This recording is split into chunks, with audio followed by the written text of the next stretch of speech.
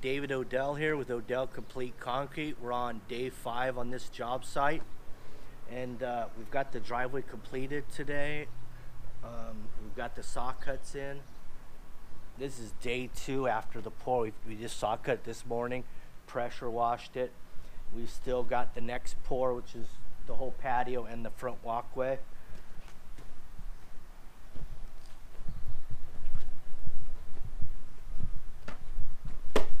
This is some uh, some of the irrigation equipment I picked up this morning at Lowe's, and I found these, and I had never seen these at Lowe's, actually in a tub, which is nice instead of just a plastic bag. So that way I can uh, keep track of my fittings and it's secure.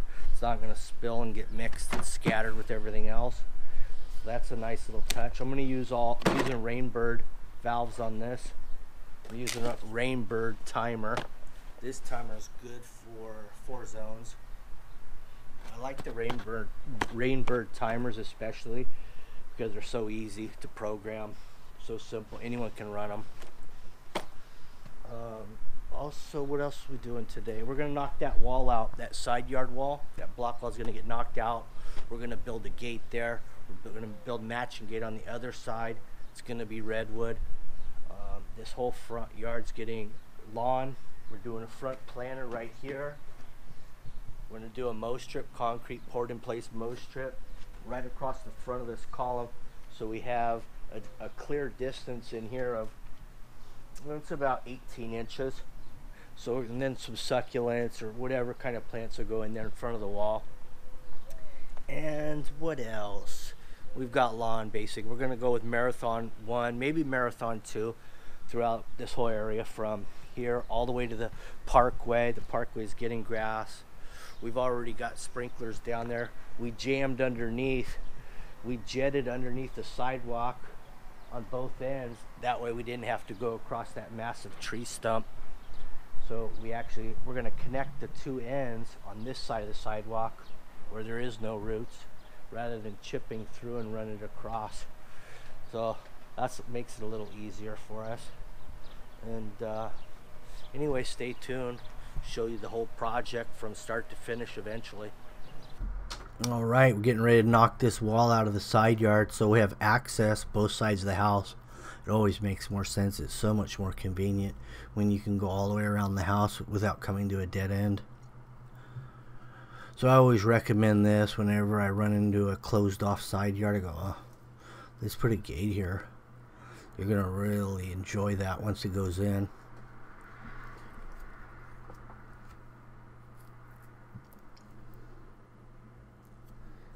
So we knocked this wall out. It came out really easy. It's uh, hollow. A hollow block's been here about 80 years. So it did pretty well for being a hollow wall. The only thing that holds these type of walls, because they're 4 inch wide, is the columns are usually A's or H's. And they just lock into that little groove there. But those are solid grouted, those columns, those A's or H's. And they got some rebar in those. Anyway, we're getting down to this Rainbird uh, sprinkler system installation. We're going to start assembling this. Get them in a nice tight fitting group right by the hose bib.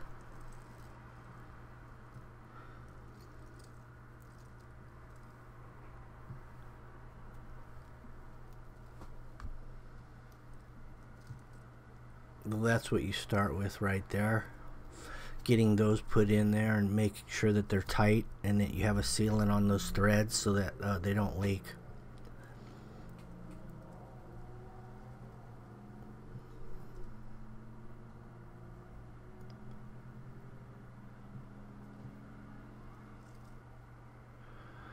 Uh, on these on all valves they have an arrow pointing the direction the water flows through them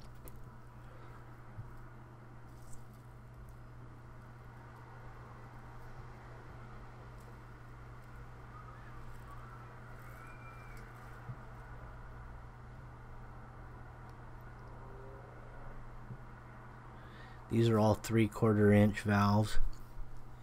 Now here's that new service the plumber put in. He left me this little stub out with another valve. That way we can isolate the sprinkler system from the house. So if you ever have to do work on the sprinklers, you don't have to shut the whole house off. That's the beauty of uh, having a, a valve in between the water supply and the sprinklers.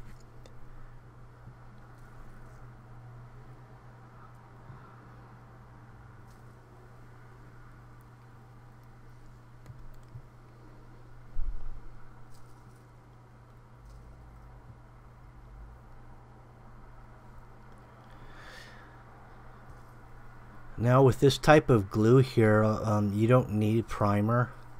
If you're, especially when you're working with new pipe, just put the glue on there and it's good to go.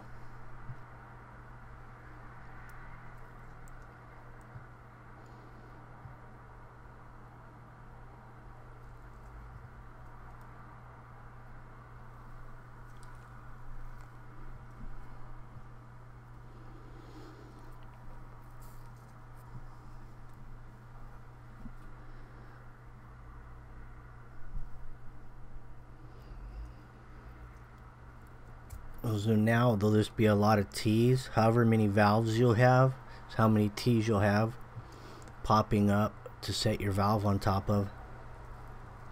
The, the end of the last valve will just be a 90 rather than a T.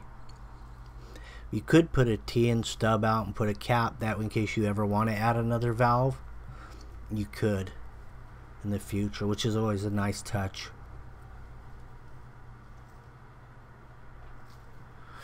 Although from this point location you wouldn't be able to run another valve even if you wanted to add one because you'd have uh, you'd have to add another pipe underneath the new concrete.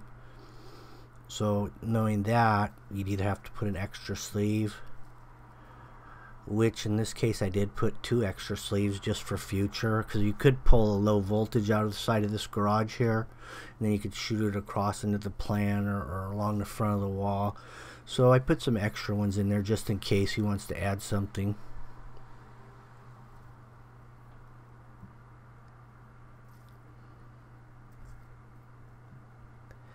Now the top of these valves should be 6 inches higher than the highest sprinkler head. And that way you'd never get water back into the house water. The anti-siphon will kick in and uh, stop any water from going into the house that way. So here's how I cut the leads coming off the front end of the valves, stagger them a little bit so each pipe is lower than the next so they're not interfering with each other when I'm trying to run them through the trench.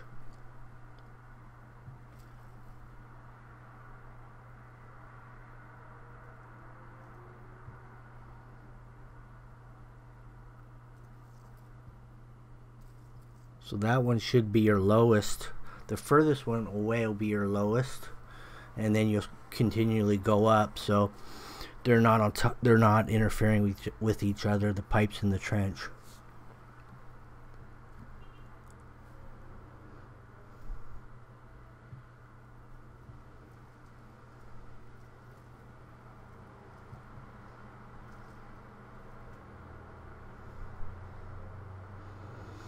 important thing to do after you get all this assembled and before you put the actual spray heads on is to uh, flush the system out because that'll blow all the excess glue out dirt and you won't have to mess with the filters of your spray heads. Or bubblers because we are going to have a bubbler on one of these valves. Two valves is just for the lawn and parkway. And one valve is going to be for the bubbler for the planter area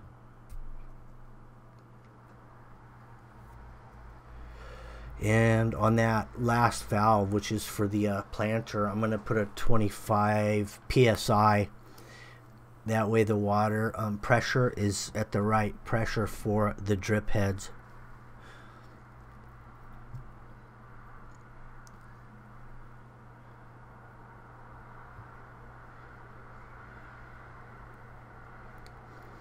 on the top of that block and column, we're going to have precast double bullnose concrete caps.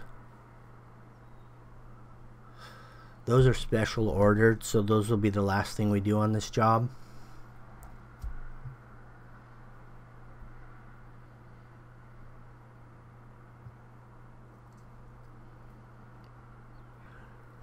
So all the sprinklers on, I've pressure tested them all the way underneath the, where the co new concrete's going to go and that way I know that there's no leaks on the valves no leaks under the slab and any of the pipes.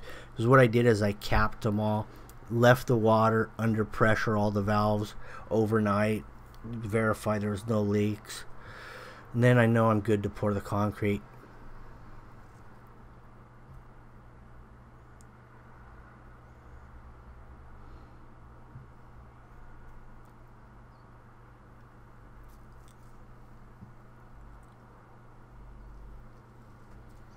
that trench along the back of sidewalk right there will have one uh, one sprinkler line spraying in towards the lawn.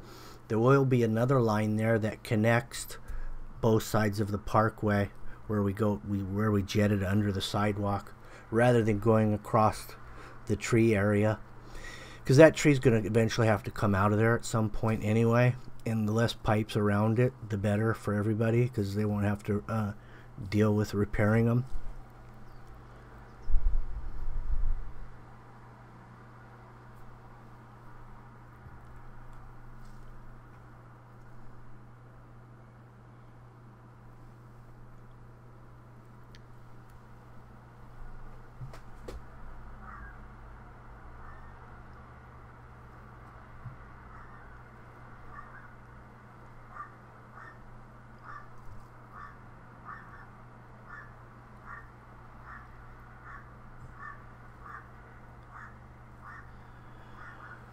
Since we have the driveway already poured, we will be doweling some uh, steel into that driveway so it ties in this walkway with the driveway so they'll stay uh, at the same level.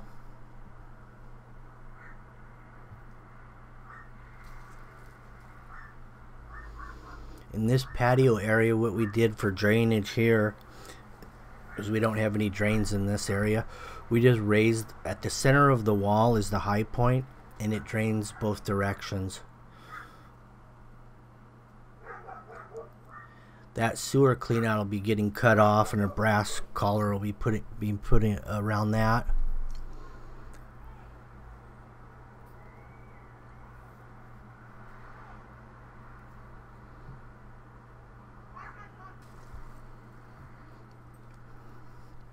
First thing I'm going to do before I cut into this pipe is remove that cap and look inside to make sure there's nothing else in there that I'm unaware of.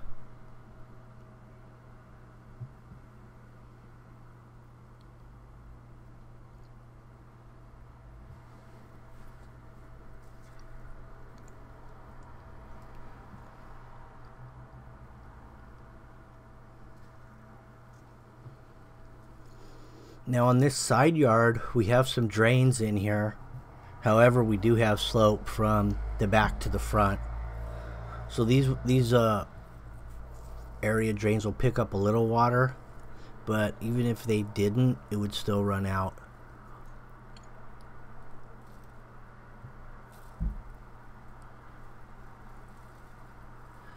That drain that we put there, that goes all the way to back a sidewalk and it goes into the backyard just in case it's ever needed it's there. It's not like it's going to be put to a whole lot of use but um, if needed it could be continued throughout the backyard for a potential phase two.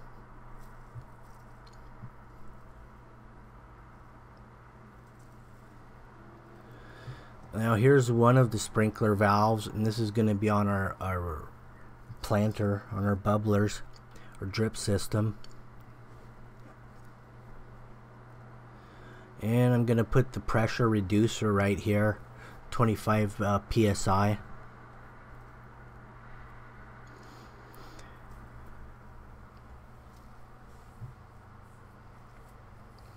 I. Just taped that off because we're not to the point to continue the uh, bubbler system or drip system at this point until we get the mow strip in. After we get the mow strip then we'll continue this drip system out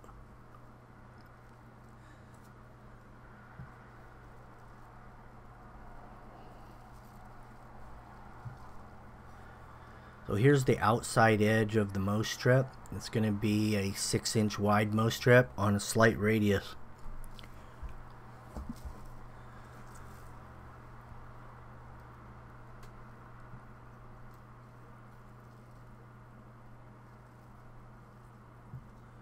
So that line right there was just representing a level line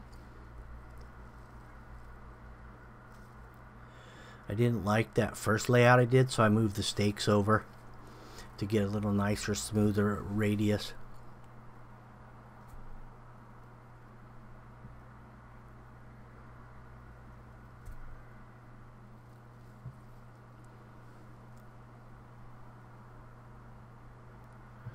Now I cut some six inch spreaders and I put them at every stake.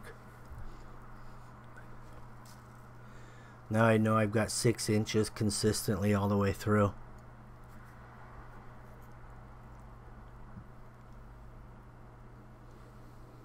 So we have sprinkler heads all the way around the perimeter at about 12 foot spacing. And these are 15 foot spray heads. So we almost have we almost we have a good overlap.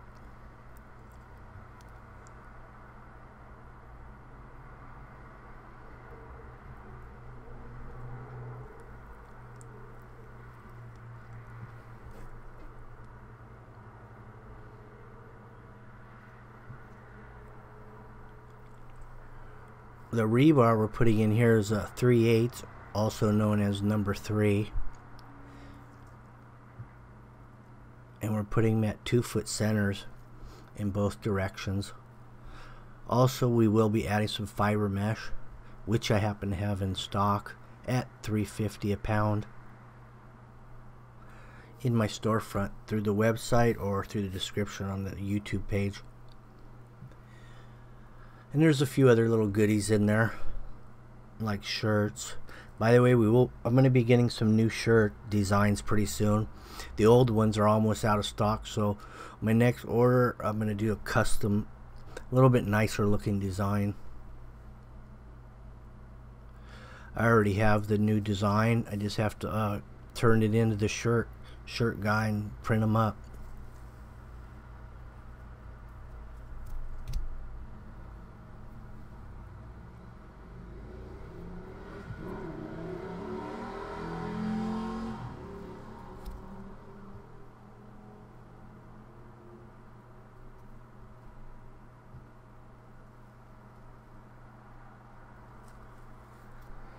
So there's the outline of the concrete and now you can see how big the grass area is going to be.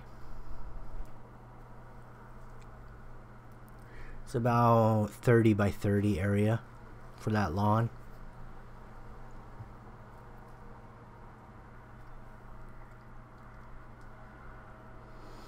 Here goes the rebar dowels tying the two slabs together.